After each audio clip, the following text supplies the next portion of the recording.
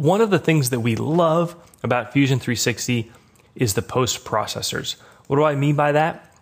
Fusion 360 includes dozens of stock post processors, meaning when you cam up your parts in Fusion 360, I can post to a Fanuc machine, I could post to a Haas, I could post to a Heidenhain, I could post to a Tormach. That's awesome.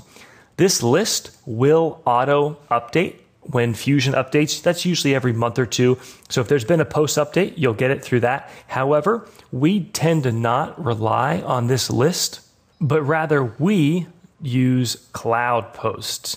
So we'll show you at the end of this video how you copy your posts in to get them into the cloud. That means that they're available to me regardless of which computer I'm using when I sign into my Fusion account. That's huge.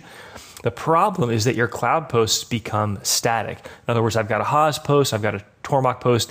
These aren't going to automatically update when Fusion pushes out a new update. So you need to go to cam.autodesk.com slash posts. We'll have a link below to this. And you can see, for example, the Tormach and the Fanuc and the Haas were all updated within the last 35 days. So you can download that new post, save it to your desktop.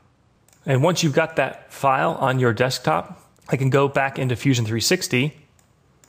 And to use cloud libraries, go to your name, preferences, CAM and choose Enable Cloud Libraries.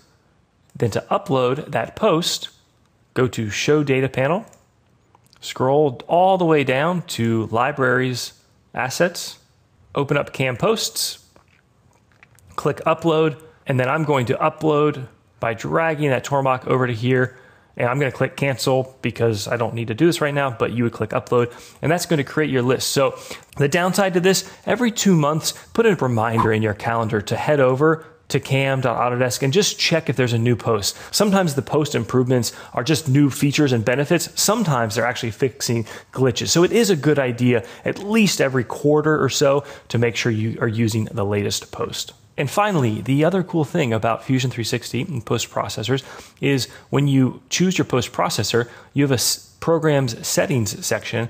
And if you scroll through this, there are some pretty cool functionalities. For instance, if you've got the Smart Cool from Tormach, you can enable that so that it sweeps or paints your part with adjustable coolant lines. Or if we hop over to our Haas post, we use, for example, G187. That enables our Haas machine to act differently when it's roughing to make the machine move more quickly and smoothly versus having it move in a more precise manner when we're doing finishing profiles. Similarly, another really cool Haas feature, optionally cycle tools at start. If you post this, take a look.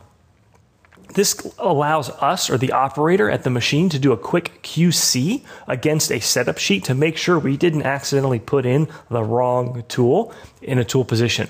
So before this program starts, it's going to pull up tool 12 and tool 13 because those were the only two tools being used in the setup that we posted.